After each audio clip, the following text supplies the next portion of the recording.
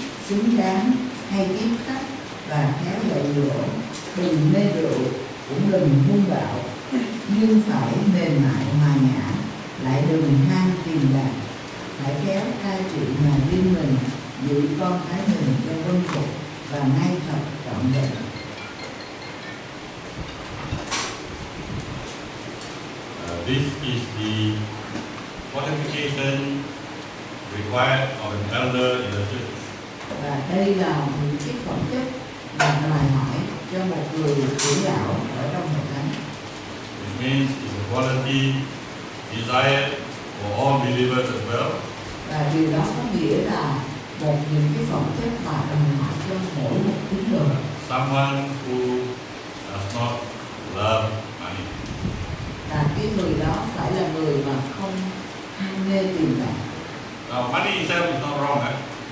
tự tiền bạc nó không có gì sai cả Uh, money is neither good nor bad. tiền nó cũng không tốt cũng không xấu Money is just a tool. tiền bạc chỉ là một công cụ thôi You must know how to use this tool. nhưng mà anh chị em phải biết làm thế nào để sử dụng cái công cụ này Suddenly, you come to sum of money nếu bỗng nhiên các bạn có một số tiền lớn keep it for yourself. và bạn giữ lại cho chính mình Obviously, that is not good. dĩ nhiên nó sẽ không tốt But nhưng if you go and seek the Lord and say, Lord, you have given me this big sum of money, nếu bạn bước ra bạn bước đến và tìm cầu Chúa cầu nguyện và nói Chúa ơi Ngài đã ban cho con một số tiền lớn như vậy Chúa muốn con làm gì what do you want me to do with this? Ngài muốn con làm gì với số tiền này The Lord will tell you, okay, this one take thì Chúa sẽ chỉ cho bạn số tiền phần này con đưa cho người này số tiền kia con đưa cho người kia. That case, money is good for you và trong trường hợp như vậy thì số tiền đó là tốt cho bạn. Because you are using it wisely. vì bạn đã sử dụng nó một cách khôn ngoan So in First Timothy chapter 6, nên trong Timothy nhất đoạn 6 verse 10, câu 10 bởi chưng sự tham tiền bạc là bội rễ của mọi điều ác. Có kẻ vì đeo đuổi nó mà bội đạo rút lấy nhiều điều đau đớn.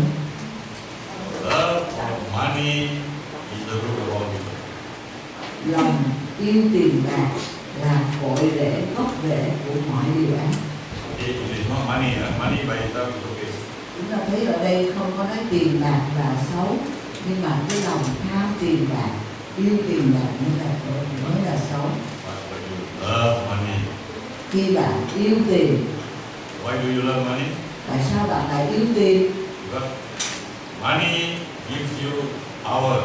vì tiền nó trao cho bạn có quyền lực With money, can buy people's favor. với đồng tiền bạn có thể mua được cái ân huệ của người khác With money, you can get things done.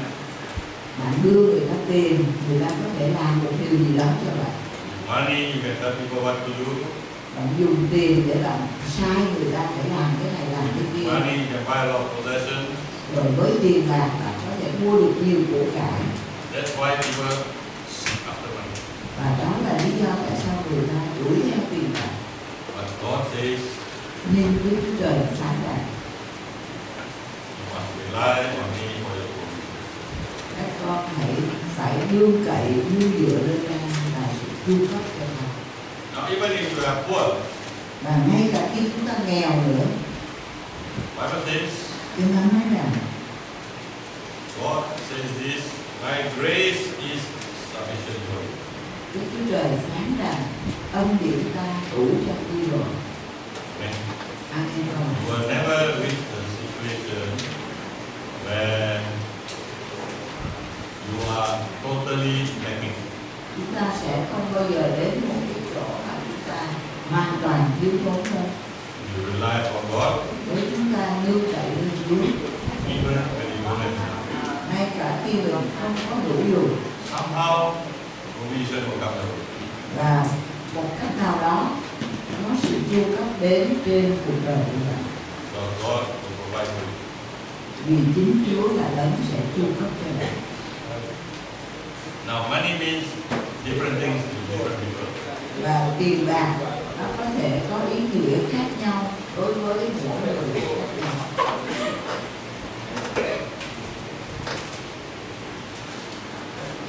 want to share with you two uh, examples tôi muốn chia sẻ với anh chị em có hai cái gương này how people view money differently. về thế nào người ta nhìn tiền bạc khác nhau Uh, first is our church's experience in India. thứ nhất là với cái kinh nghiệm của hội thánh chúng tôi ở tại Ấn Độ Uh, maybe 20 years ago, we, got, we were supporting a church in India. khoảng 20 năm trước đây chúng tôi hỗ trợ cho một hội thánh ở tại Ấn Độ Uh, we were supporting their program in training planters.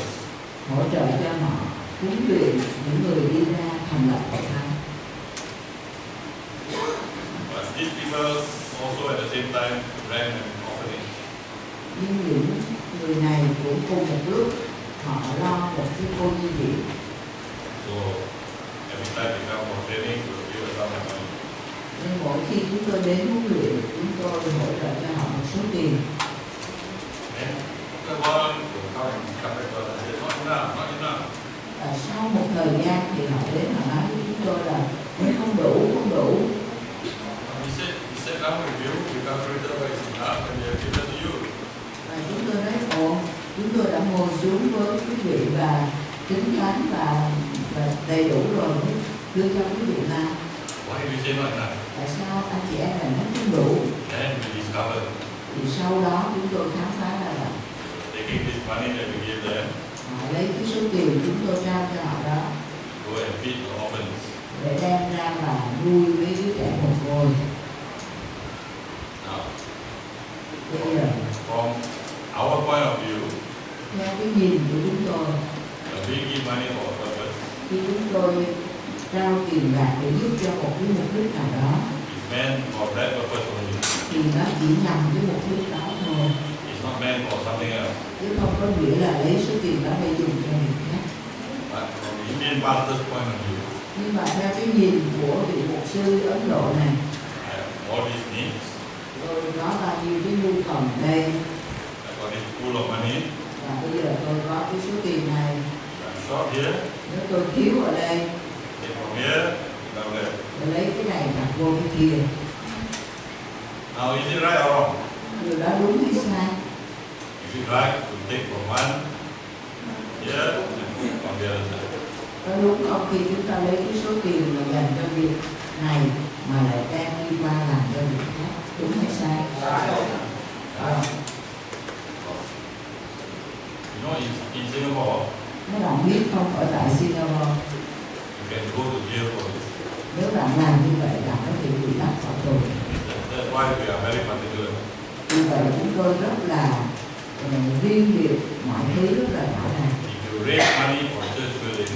nếu chúng ta quyên tiền để mà xây nhà thờ xây nhà you decide that, oh, I have a need over there, so I take a church building fund and side. Và nếu chúng ta bắt đầu khám phá ra ô mình có một cái nhu cầu kia thôi bây giờ mình lấy cái tiền người ta quyên cho nhà để dùng cho cái việc khác. In Singapore, ở tại Singapore là nếu bạn thay đổi như vậy bạn có thể đi vào vậy. Nhưng mà ở trong những đất nước khác thì họ lại thấy là được. Rồi tôi sẽ nêu lên cho anh chị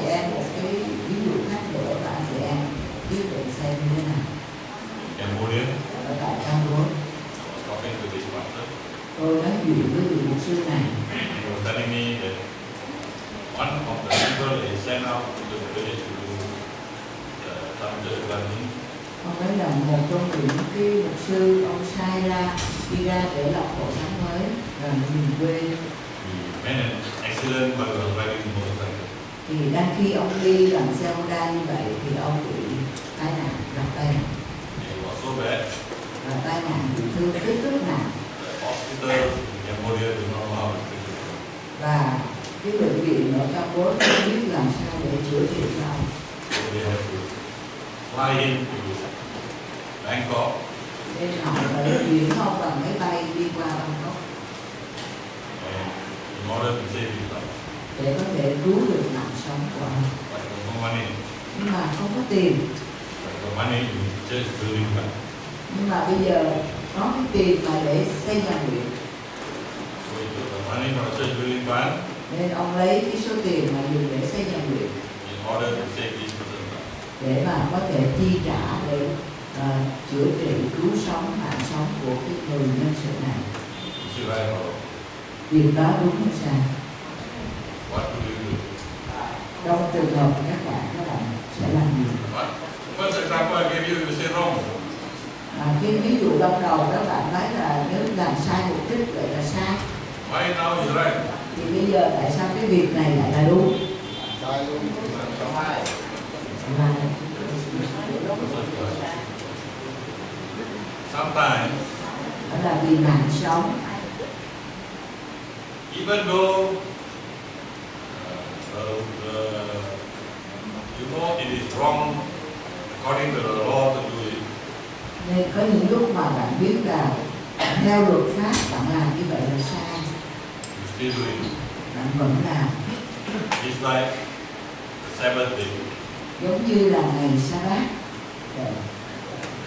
In the Bible, in Luke chapter 13, trong kinh thánh trong Luca đoạn 13 Jesus was teaching in the synagogue, Chúa Giêsu ngài đang dạy dỗ ở trong nhà hội he saw this woman uh, bent over.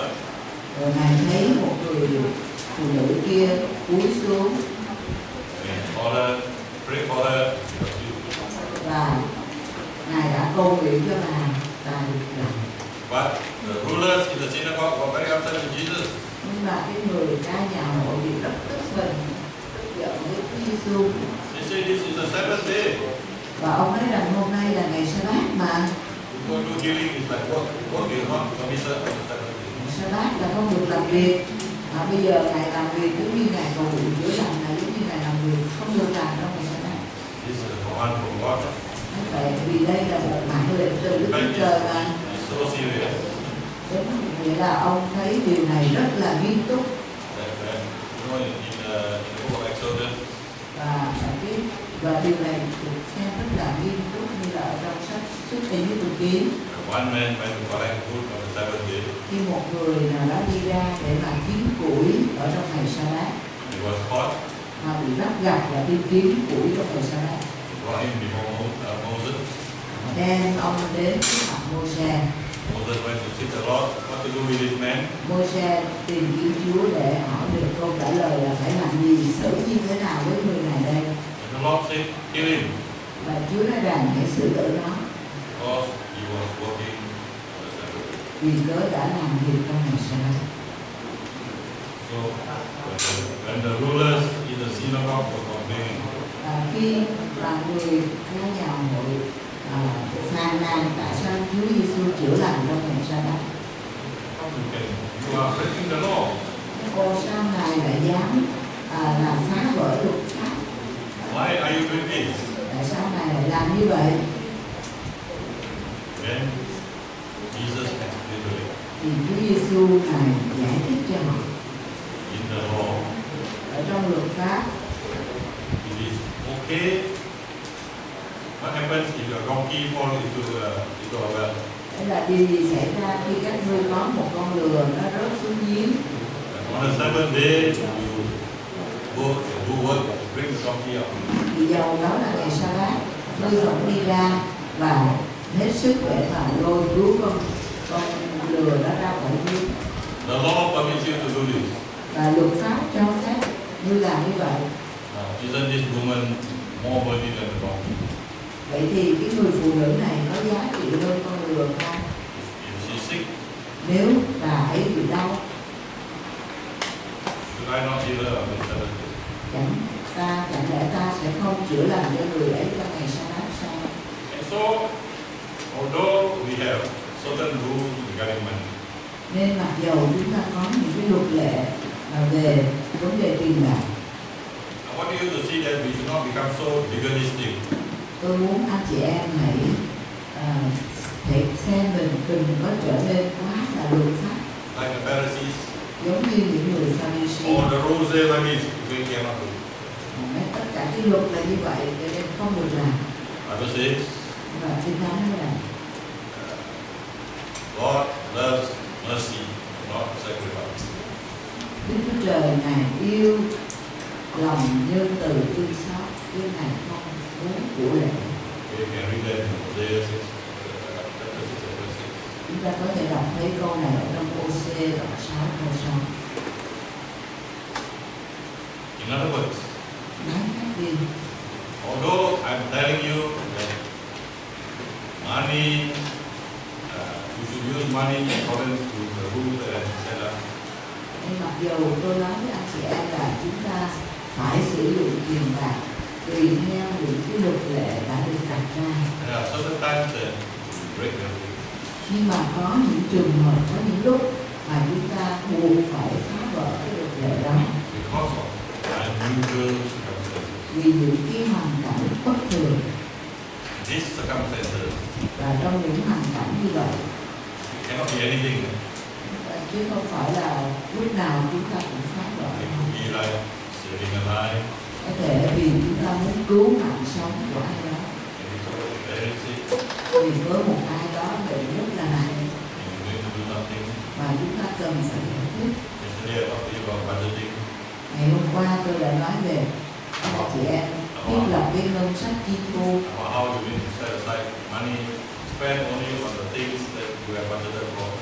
à, thế nào chúng ta thiết lập số tài chính của mình chỉ dùng trong những cái việc nào đó?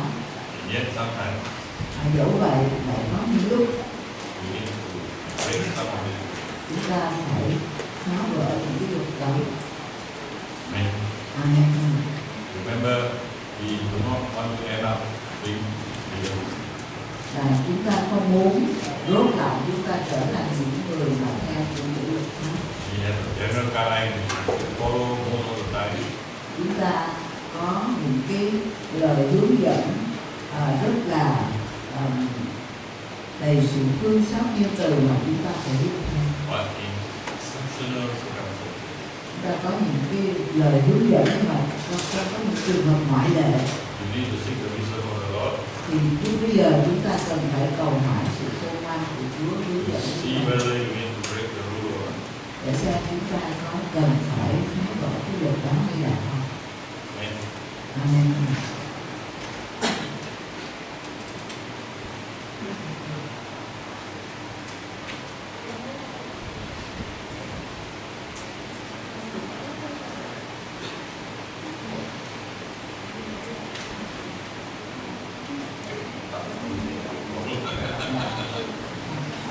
Okay.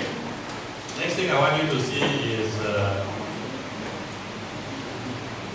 the fact that in the scriptures, Cái điều kế tiếp mà tôi muốn anh chị em nhìn thấy đó là ở trong kinh thánh it talks about churches that are very poor. nói về những hội thánh rất là nghèo khó. Now, if I ask you today, Nếu tôi hỏi anh chị em ngày hôm nay how many of you think you have enough? bao nhiêu người nghĩ là mình có đủ I think most of you will say, no, no, I don't have enough. thì phần lớn anh chị em sẽ nói là ồ chúng tôi không có đủ And yet, in the scriptures, nhưng mà dẫu vậy ở trong kinh thánh we find that the churches in Macedonia, chúng ta tìm thấy là hội thánh tại xứ Macedon. when they heard about the famine in Jerusalem, khi mà có cơn có cơn đói kém ở tại Jerusalem they quickly rushed to give money to Paul. họ nhanh chóng dâng tiền cho Say, okay, và nói là cái số tiền này và em về giúp cho hội thánh But they did not have enough in the beginning. nhưng mà lúc ban đầu là họ không không có đủ. And yet, out of that insufficiency, và trong cái từ cái chỗ họ không dư không không đủ đó they were prepared họ vẫn sẵn sàng để vào dân hiến ban ra Why do they give? và tại sao họ dâng ra vậy Because they learned the joy of giving. vì họ đã học được cái sự vui mừng khi họ dâng hiến Even though they do not have enough, nên dù họ không có đủ they realize that they can survive even if they give something away. họ vẫn thấy rằng mình vẫn có thể sống được cho dù mình dâng ra một So, số so the Bible says, nên kinh thánh nói là God loves the cheerful giver. Đức Chúa Trời yêu kẻ dâng hiến cách vui lòng.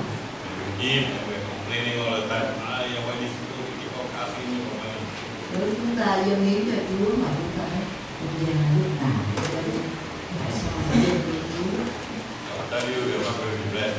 Nếu chúng ta vừa dâng vừa làm lòng như vậy thì nó không có được phước đâu Chúa không nhưng mà nếu chúng ta dâng cho Chúa một cách vui lòng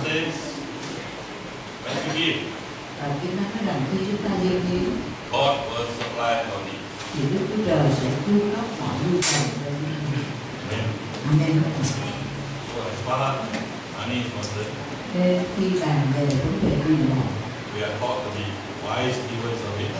chúng ta được dạy rằng chúng ta phải là người quản lý khôn ngoan We are taught to look after it well. chúng ta phải coi sóc tiền bạc một cách đầy đủ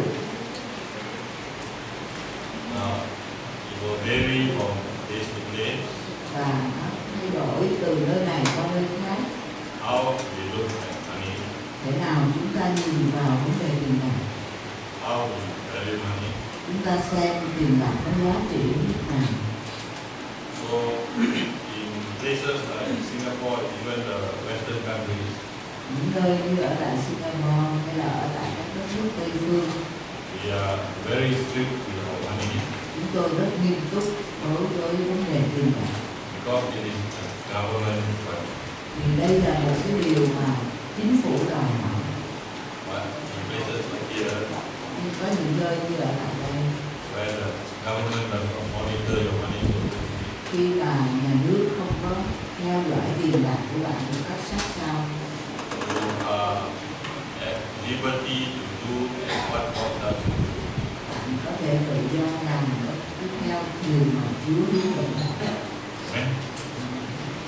Okay, that's for money. và đó là về vấn đề quản lý tiền bạc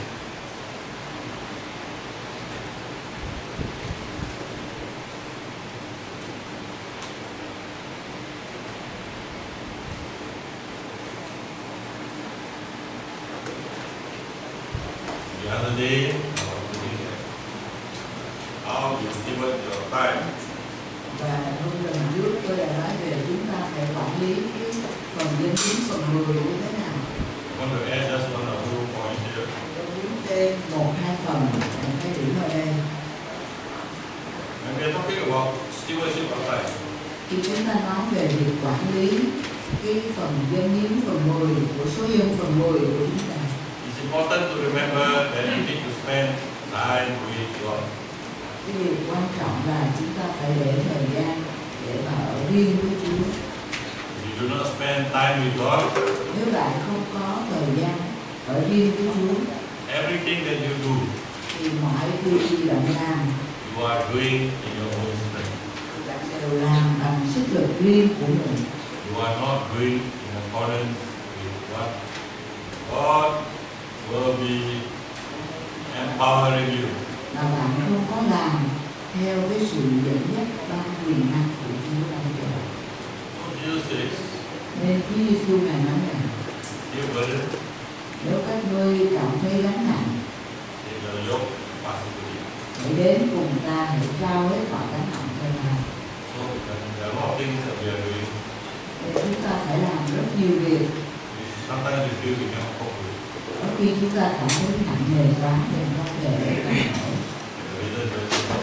và lý do tại sao chúng ta thấy nặng quá như vậy We have not spent là vì với chúng ta không dành đủ thời gian of uh, Choi Yong Lee. và tôi nghĩ rằng tất cả chúng ta đều đã nghe về một sư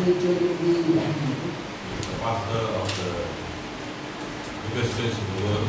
ông là vị mục sư của hội thánh lớn nhất ở trên thế giới. Và gần đây là hội thánh ông là ông đã có hơn một triệu tín đồ giving away members. và ông cũng để cho tín đồ ông đến ở hội thánh khác ông cho hội thánh tín đồ ông đi tới những nơi khác. Every time his members come, his pastors come and see him, và mỗi khi ông mục sư nào đến gặp ông oh, I want to start a new church. nói rằng tôi muốn mở một hội thánh mới tell them, okay, take 20,000, 30,000, let them go with you. thì luôn luôn ông sẽ nói ông muốn mở hội thánh mới hả vậy thì anh dẫn hai chục ngàn người tín đồ này đi với anh đi. And hai yet, chục ngàn kia. And yet, despite this, he has so many members. mà cho dù ông chia bớt các tín đồ cho các mục sư đi mở hội thánh như vậy thì hội thánh ông vẫn đông just imagine, you are, you are Choi Yong Lee, các bạn cứ hãy tưởng tượng xem bạn là ông Jeremy and you have all these needs, so many people to look after. và bạn có nhiều nhu cầu phải coi sóc rất nhiều tín đồ. How are you going to cope? Thì bạn làm sao có thể thích ứng được đây có thể chịu nổi đây nên ông Jeremy ông nói rằng every day, mỗi ngày. I must pray a minimum of three hours. Tôi phải cầu nguyện ít nhất là ba tiếng đồng hồ. Before I can do anything. trước khi tôi có thể làm nổi bất cứ việc gì.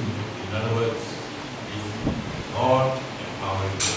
nói khác đi là chính Đức Chúa Trời ban quyền năng cho ông để Even if you have 10 or 20 members, nên ngay cả khi bạn chỉ có 10 hay 20 thuộc viên ở trong hội thánh thôi.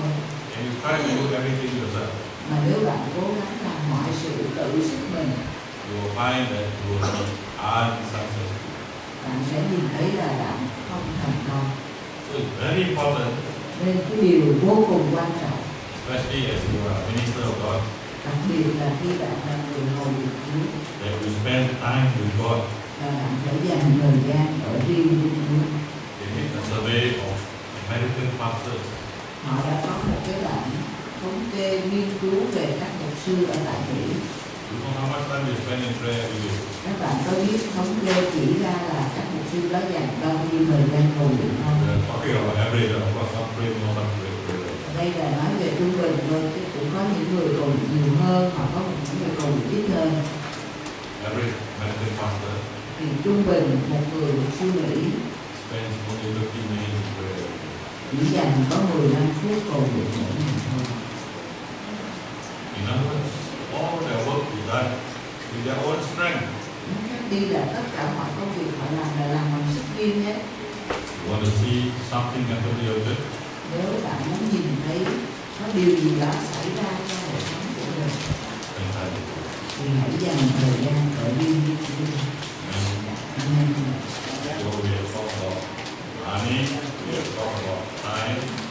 ta đã nói về tiền bạc, đã nói về thời gian. Last thing I want to talk about is relationship. Và điều cuối cùng tôi muốn nói là về chúng ta quản lý các mối quan hệ. I you, Và trong phần bài đầu tiên tôi chia sẻ với anh chị em, about the pastors in China tôi đã nói với anh chị em về những vị mục sư ở tại Trung Quốc. How they were all on fire for God, để nào họ rất là bùng cháy về Chúa but they never spent time with family. nhưng mà họ lại không có dành thời gian cho gia đình của mình They neglect family. họ bỏ quên gia đình của mình. Now, as a pastor, và bây giờ với tư cách một mục sư besides looking after your family, và bên cạnh coi sóc gia đình.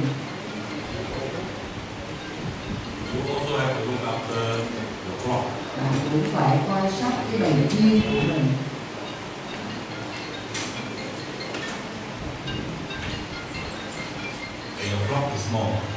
Khi mà bệnh nhi của bạn rất là nhỏ bé thì bạn có thể à, chăm sóc tự bạn đi khám bệnh bạn nhưng mà đang khi bầy chiên của bạn gia tăng thêm if you use the same style of interacting with them, nếu bạn cũng vẫn cứ cái cách cũ để bạn coi sóc họ khi bạn giao thông theo thời gian you will find that it's impossible for you. thì bạn sẽ thấy là mình không thể nào mà lo Now, one person can, can look after maybe 50 to 75 percent well. một người có thể chăm sóc được 50 người hay 75 người là rất tốt đẹp That means you are really taking care of them. là bạn có thể coi sóc chăm chút đầy đủ Many years ago, I used to worship in this church.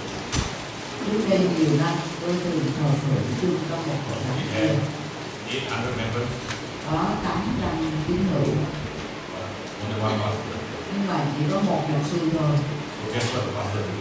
thì chúng ta hãy phỏng đoán xem ông mục sư sẽ làm gì. Pastor only preach ông không phải chỉ giảng.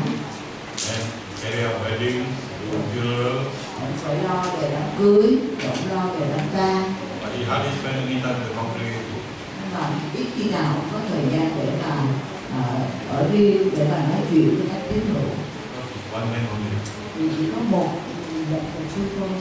Only really crisis come and see him. chỉ bao giờ mà tín đồ gặp khủng hoảng lắm thì mới tới gặp mục sư được. Còn không thì ông không có thời gian cho tín đồ. Một người mà lo cho 800 người làm sao có thể làm được so, when we are talking about relationship, nên khi chúng ta nói về mối quan hệ nếu chúng ta có cái tấm lòng của một mục sư và chúng ta muốn đến với mọi người thì chúng ta phải nhận ra rằng chúng ta chỉ có thể làm được tới cái mức nào đó thôi. Mà nếu chúng ta muốn thánh tăng trưởng thì chúng ta phải huấn luyện cho người ta để người ta cũng làm những điều giống như bạn làm Amen. điều đó có nghĩa là bạn cần những người phụ tá có thể là những mục sư phụ tá bạn có thể là những người trưởng lão trong hội thánh leaders in the church who người can help lãnh you đạo trong hội thánh có thể giúp đỡ.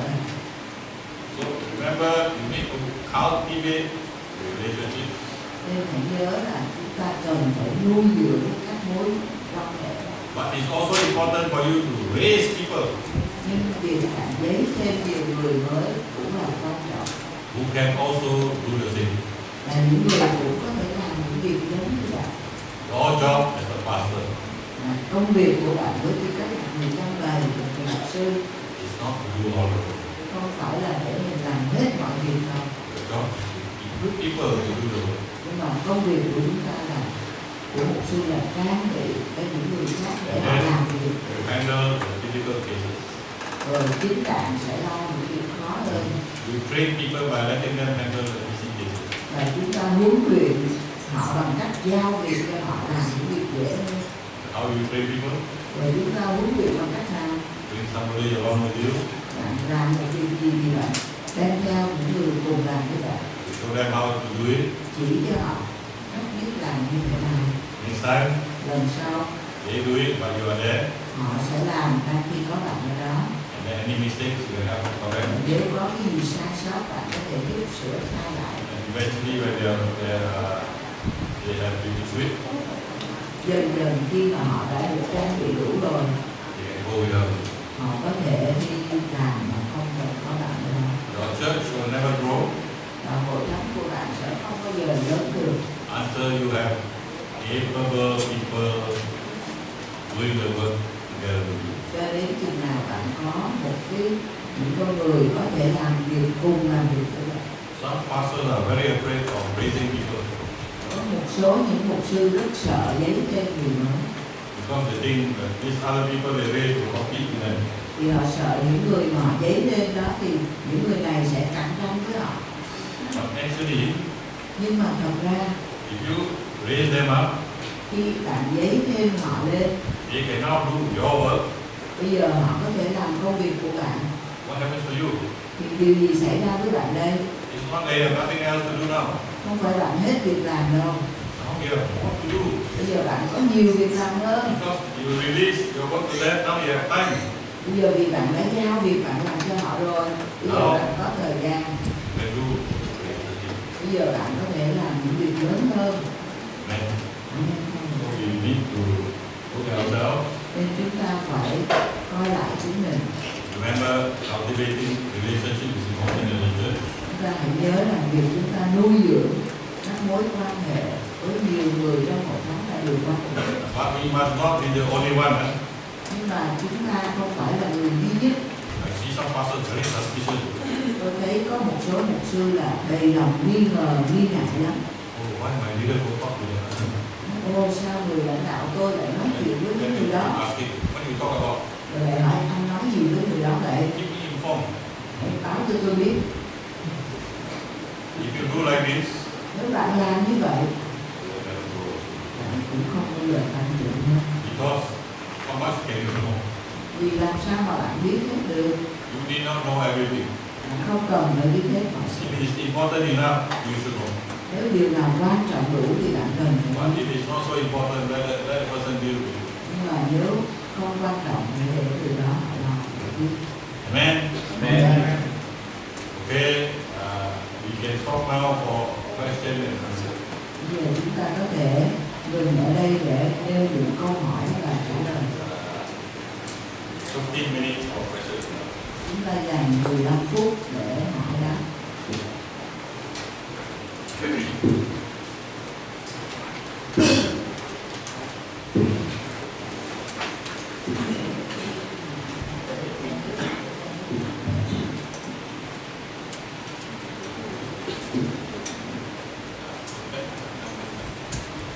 Okay, any question?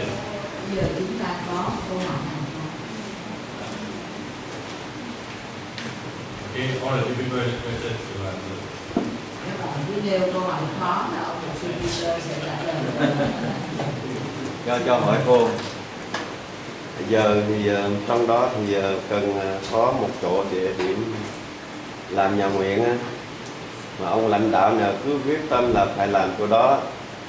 Nhân sự tín đồ nó là làm chỗ khác mình nếu mà làm chỗ khác thì ông không chịu. Điều đó ờ, cho luật sư giải thích như thế nào?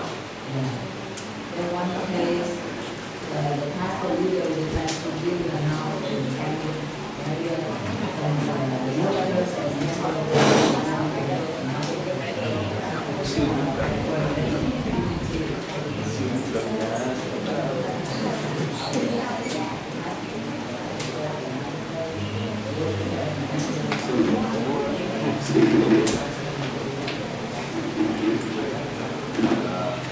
answer to that is very simple. Câu trả lời cho vấn đề này rất là đơn giản.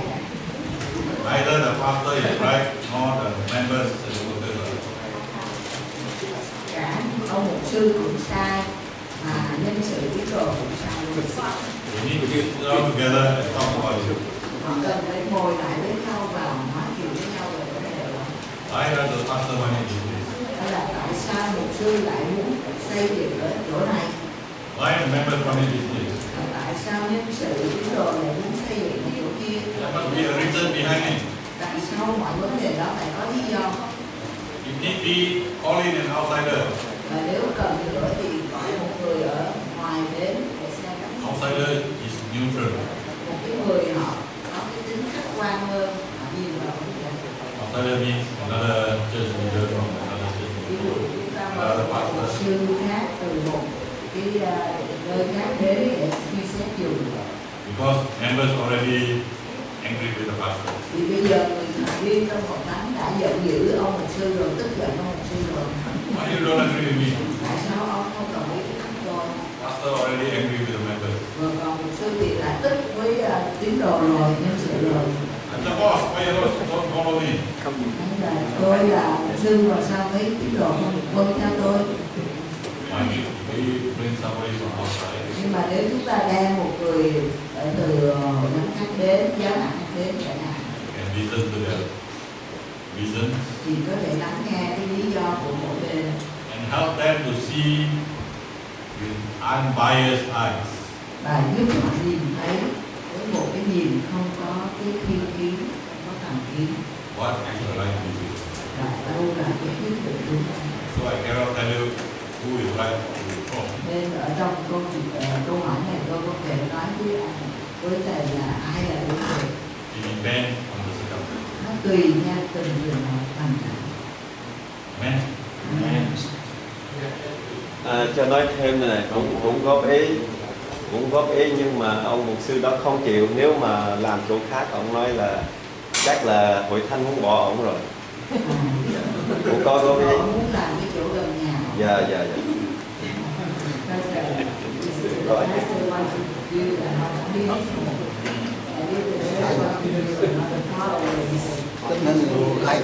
họ đi một đi từ đây qua bên kia, họ được vô chín chín họ vô thân chiến thân chiến What Pastor Paul said is true. We must also consider that regarding the things of God, we must learn to be led by the Lord.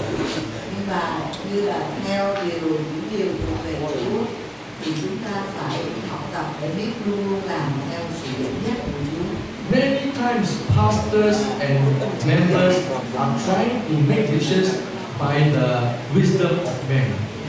nhiều lần một vị mục sư hay người sự hay tín đồ cố gắng quyết định đó mà rút ra từ cái sự của của người của tâm trí That's why Pastor Paul said that we must spend time with the Lord. Vậy nên một sư cô ông nói rằng chúng ta phải dành thời giờ đi với Chúa Also, there must be church leadership to make certain decisions. và phải có cái người lãnh đạo của hội thánh là người có quyền quyết định một số quyết định quan trọng nào đó So Pastor Paul also talk about relationship. nên một sư cô cũng nói về cái mối quan hệ There must be unity and relation, good relationship in the church of God. nên phải có cái sự hiệp một có cái mối tương giao tốt với nhau mối quan hệ tốt với nhau ở trong hội Chúa The sheep must also learn to trust the pastor. Vị trung chiên cũng phải học tập để tin cậy sư The pastor also cannot be selfish to make decisions for his own benefit. rồi ông mục sư cũng không được ích kỷ những cái quyết định nào chỉ nghĩ là có lợi cho cho riêng mình Because the things of God and the work of God is not about us, not about the pastor and not about the members, but more importantly, what is God's plan.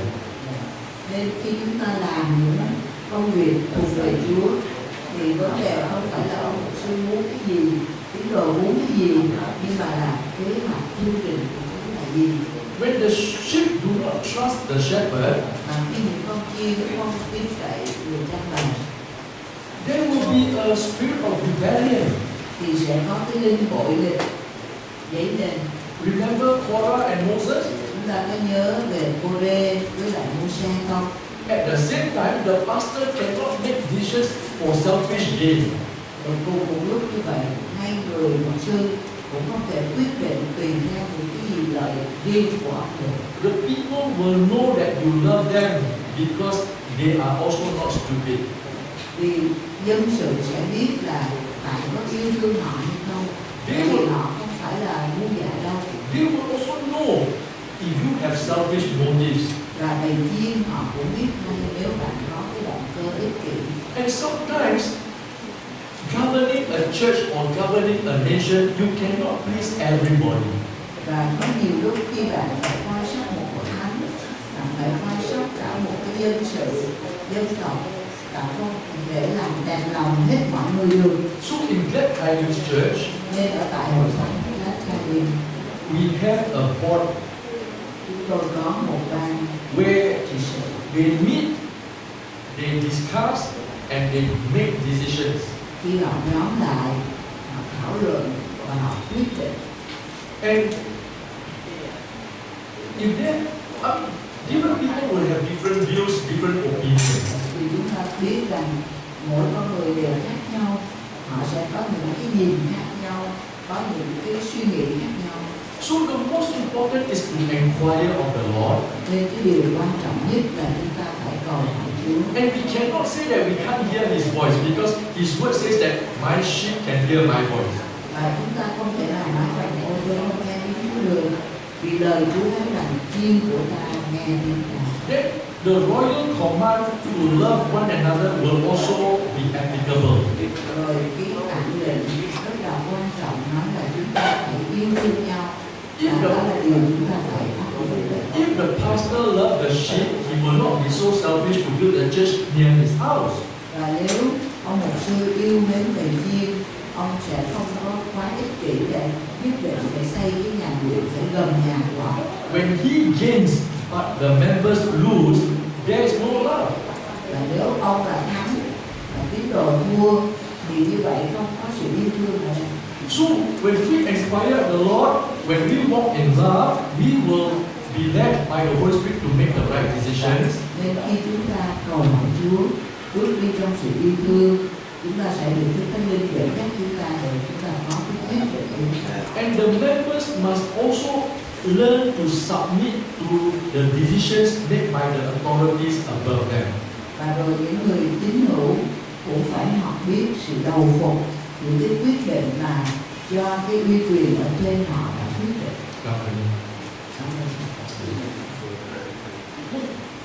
Let me share something about our church.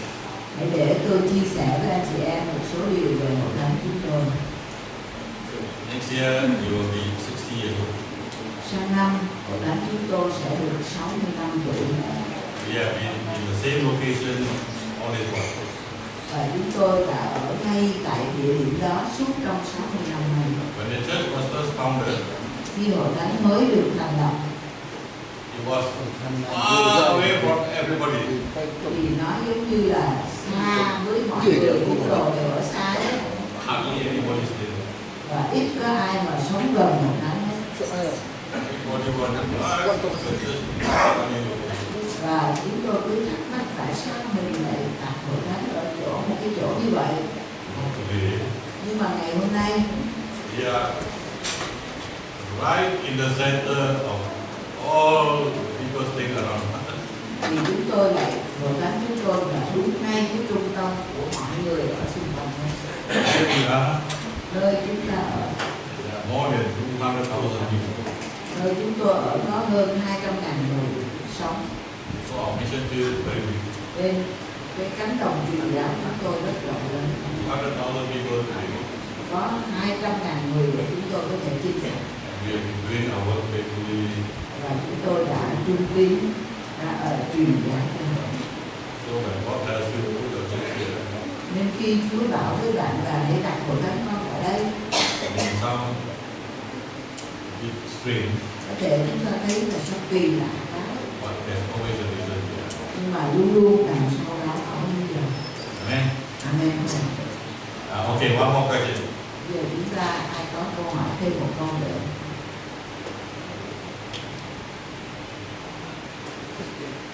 One more. Okay. À, à, tôi xin hỏi một cái câu hỏi là um, về cái uh, um, câu kinh thánh cũng có nói là um, cái sự um, tham lam cũng giống như tội thờ hiện tượng. À, rồi sau đó thì ở cái phần ờ, uh, Khải Huyền sách Khải Huyền ở đoạn ờ, uh, 21 câu ờ, 21 đó thì nói là cái uh, tội thờ hiện tượng thì cái nơi ở của những người tội thờ hình tượng nó là ở trong hồ lửa có diêm cháy bừng như vậy thì à, nếu mà chúng ta không có khi còn hơ, còn còn còn còn sống mà chúng ta không có th- ừ, ăn năn cái tội tham lam đó thì nếu mà đến cái ngày mà chúng ta chết mà chúng ta vẫn cái có giữ cái lòng đó thì thì thì chúng ta có mất cái sự cứu rỗi hay không giống như trong câu kinh thánh ở trong sách Giả quyền đó. Bible it says greedy is like uh, adultery and in some in Revelation 10 you know, it says those who are adulterous with adultery Revelation Yeah, 21. Revelation really, uh, Also yeah, 29. Timothy. Uh, 21. 21, you begin that. So, if we greedy and keep on greedy and no revelation, so shall we bless us. trên tam cảnh sắc trên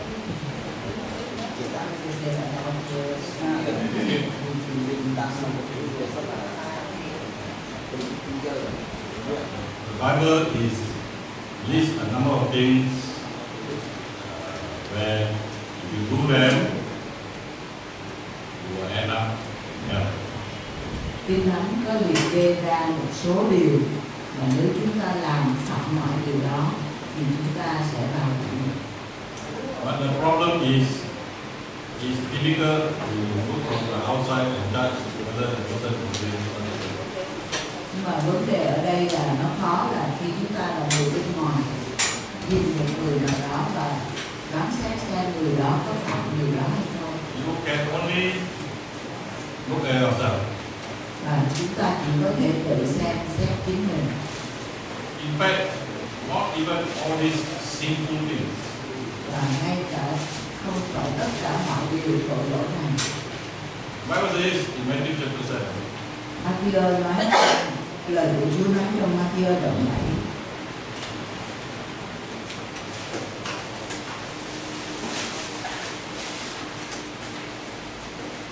in Matthew chapter 7, verse 21 to 23. Matthew đoạn 7 câu 21 đến 23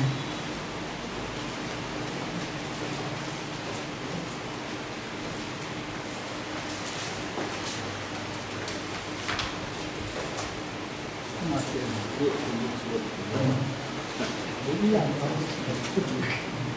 Xin chúng ta cùng đọc Matthew đoạn 7 câu 21 đến 23 Chẳng phải để những kẻ nói cùng ta rằng Lạy Chúa, lạy Chúa Đều được vào nước thiên đàng đâu Nhưng chỉ kẻ làm theo ý muốn của cha ta ở trên trời mà thôi Ngày đó sẽ có nhiều người thưa cùng ta rằng Lạy Chúa, lạy Chúa Chúng tôi chẳng cần nhân danh Chúa mà nói tiên tri sao Nhân danh Chúa mà trừ quỷ sao Và lại nhân danh Chúa mà làm như ác đạo sao Khi ấy ta sẽ phán rõ ràng cùng họ rằng Hỡi kẻ làm gian ác Ta đã biết các ngươi câu giờ Hallelujah Okay?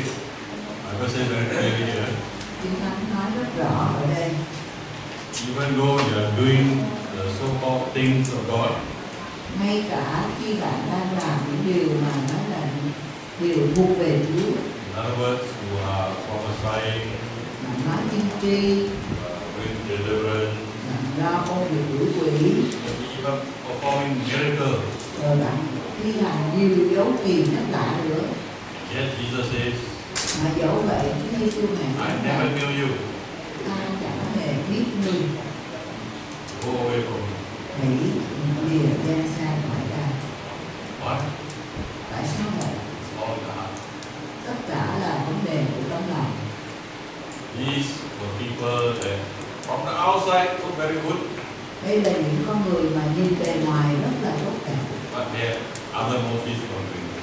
nhưng mà họ có cái động cơ khác trong cái việc làm họ So let's go back to first principles. nên chúng ta hãy trở về với nguyên tắc ban đầu What? You saved? tại sao bạn được cứu Salvation comes to you because you believe. sự cứu rỗi đến với bạn là vì các bạn tin Salvation is a free gift. vì sự cứu rỗi là một món quà ban một món quà ban cho nhưng không không There is nothing you can do to receive your salvation. bạn không có thể làm một công đức nào để mà nhận lại được sự cứu rỗi đó. So now, you accept the free gift, you are saved. bây giờ vì bạn đã tiếp nhận lấy món quà ban cho niên không này mà bạn được cứu And after you are saved, và sau khi bạn được cứu rồi you are called to live a life pleasing to God. bạn được kêu gọi để sống một cuộc đời làm đẹp lòng Chúa But what happens if you stray away? nhưng mà điều gì xảy ra nếu bạn đi lạc đường Does it mean that turn away from God? Điều đó có nghĩa là bạn quay khỏi Chúa không? You don't live your life like how a Christian is supposed to live. Bạn không sống cuộc đời đúng như cách mà cơ đốc nhân phải sống. No Christians who are smoking. Bạn biết có những cơ đốc nhân là vẫn còn hút thuốc, uống rượu.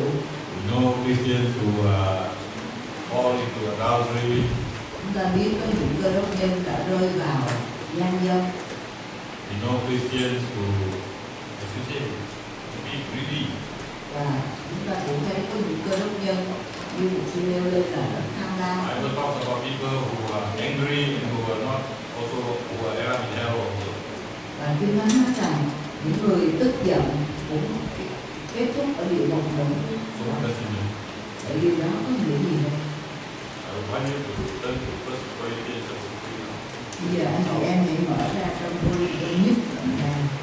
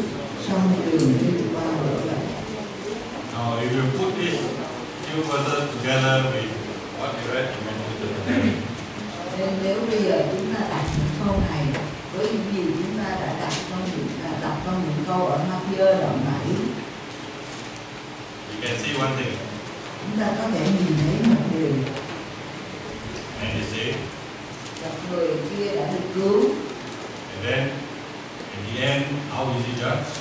No,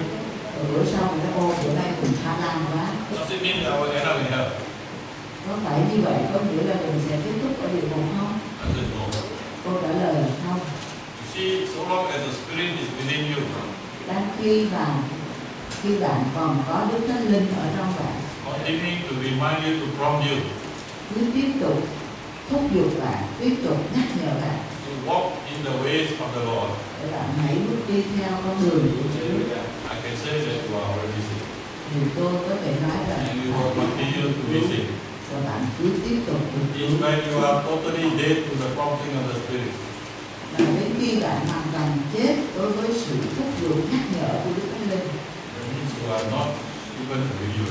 Thì điều đó có nghĩa là bạn không phải một Có một số người khi họ còn trẻ. À, có có những người cha mẹ đem họ đến hội thánh rồi bắt tay còn nước cho họ khi họ còn nhỏ.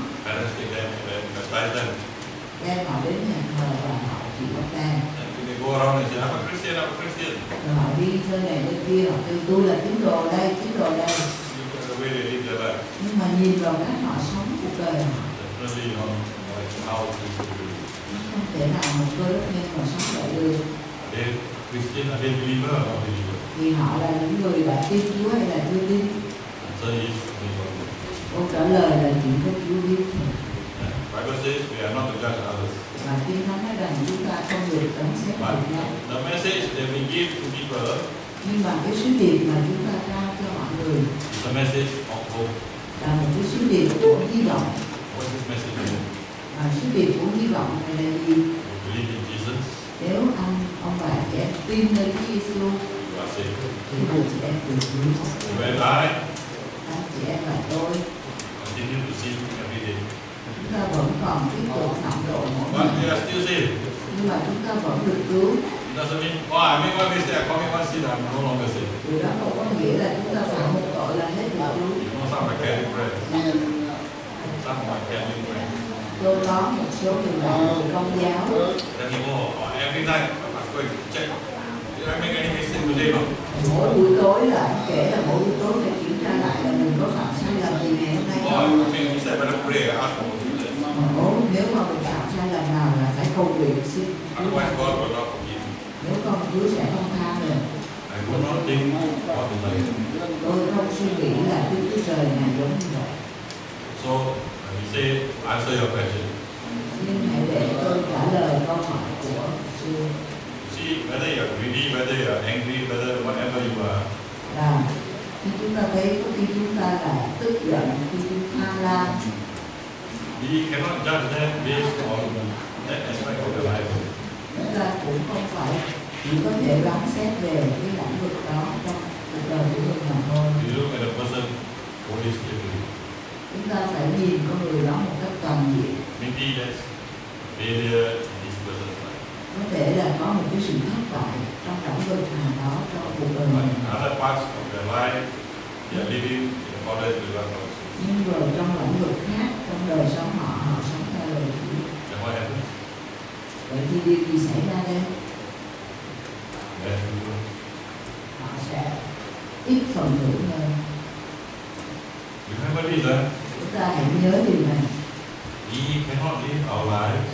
Chúng ta không thể sống cuộc đời của mình